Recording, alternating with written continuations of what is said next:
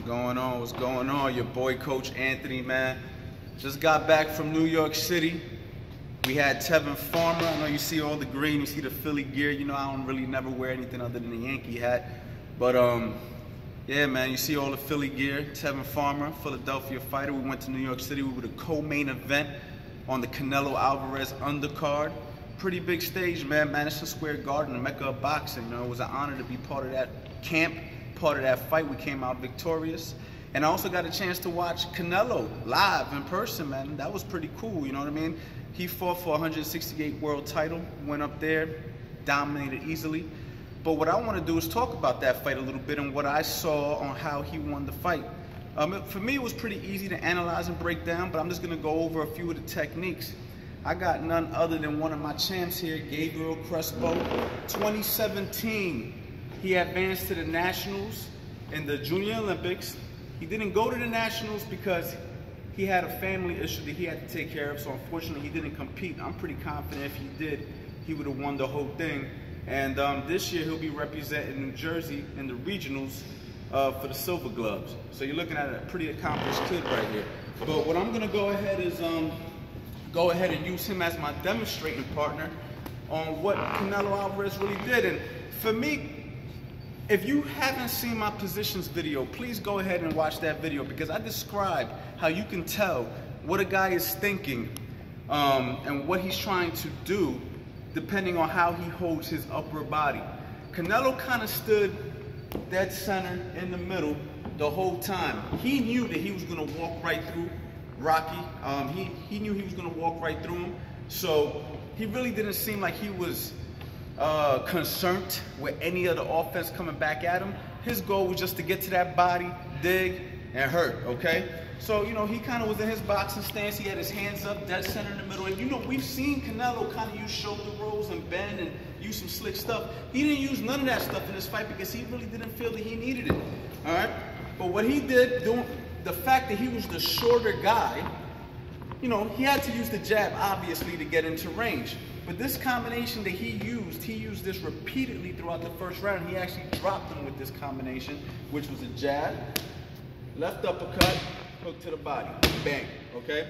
So he went ahead and he stepped with the jab. He was in range for the uppercut, bang. Now, when he threw that jab and he got there, he threw that left uppercut, bang. He lifted his head up right there while he's frozen, step over to the body, and rip, bang. That's it. And when you freeze a guy, that's typically how you get to the body. It's pretty difficult to get to a guy's body if you go straight for it. You got to throw a headshot to throw the guy off. So either you hit him with the headshot or you get him to cover up and block the headshot, leaves the body shot wide open. So we're gonna go ahead and demonstrate how it looked in, in you know, in normal speed. It's gonna be pop, pop, bang. All right, do it again. Pop, pop, bang. Good. One more time. Pop, pop, bang. One more time. Pop, pop, bang. All right. So that was the first combination that I saw. The next one was, like I said, he had his head down. He got himself, he moved his head a little bit. He kind of did a little shifting left and right.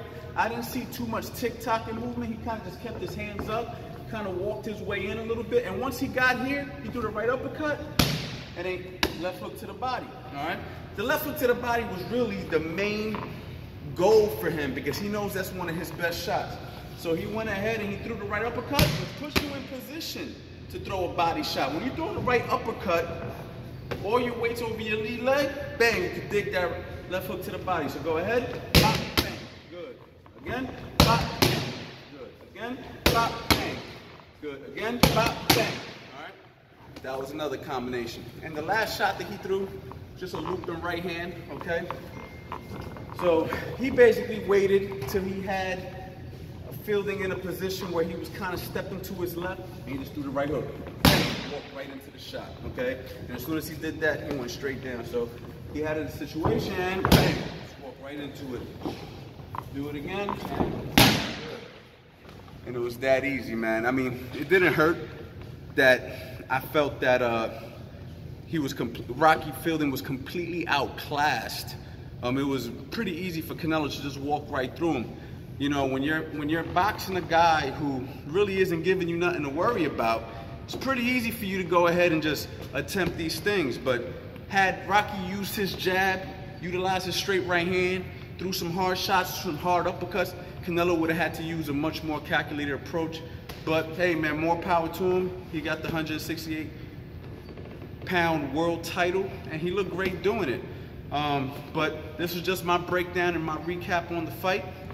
And I hope you guys like it, man. Like, comment, subscribe. Please share the channel. Leave your comments below. Let me know what else you guys want to see. Follow me on Instagram at Coach Anthony. Boxing Life.